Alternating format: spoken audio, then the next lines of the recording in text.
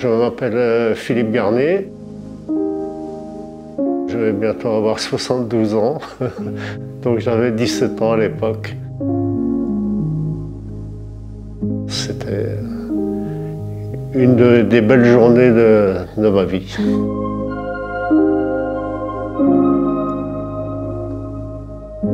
Nous étions un groupe de jeunes Lavallois. On était encadrés par euh, trois hommes de valeur, Luc Avignon, Roger Bouillon et Daniel Bardou, des éducateurs euh, hors pair qui nous ont appris à faire des choses, à respecter les choses, qui nous avaient entraînés à faire de la spéléologie euh, dans la Mayenne.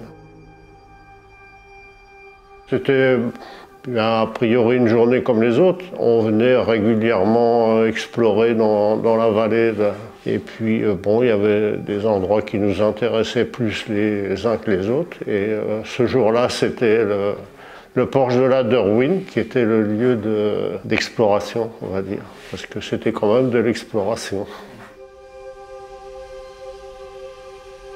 Chacun s'était euh, réparti suivant affinité à des endroits bien précis pour farfouiller un petit peu. Et puis, euh, certains d'entre nous ont trouvé un, trou qui, continuait, on va dire. Donc, euh, c'était un trou qui était à droite dans le, porche sous, sous, le porche de la Derwin, qui était d'ailleurs plein de, de vieilles casseroles qui servaient un peu de dépotoir pour les gens qui se réfugiaient sans doute là pour euh, pique-niquer ou je ne sais trop quoi.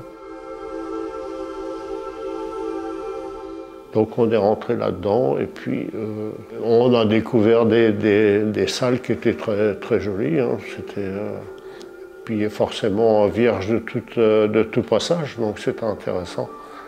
Mais c'était pas extra, extraordinaire, quoi. C'était, on, voyait, on voyait ça dans d'autres grottes. Ah, par contre, c'est en allant tout au fond de la grotte que que Daniel Bardou, qui était notre aîné et notre mentor un peu, a, aperçu ce mur couvert qui est dans le fond de la grotte, ce mur avec le mammouth, et voilà.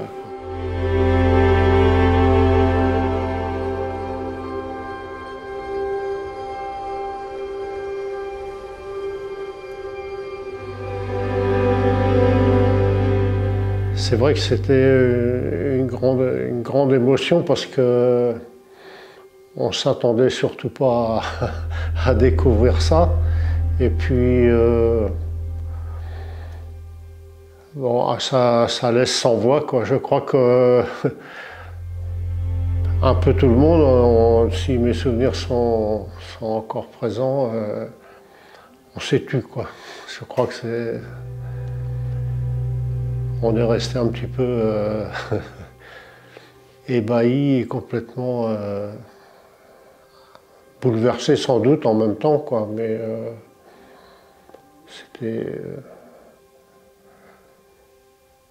je crois qu'il y a eu un grand silence.